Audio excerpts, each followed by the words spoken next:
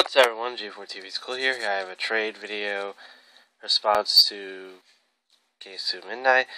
I end up getting the flash shield pretty quickly, in good shape too, so I hope to trade with you again someday. Thanks for sending back the card protector. It does a little bit of damage, but I don't care. As long as the card is in good shape, that's all that matters to me the most. Anyway, I'm almost finished with the Royal Paladin deck. Great, thank God. I just need a couple more things, expensive things, of course.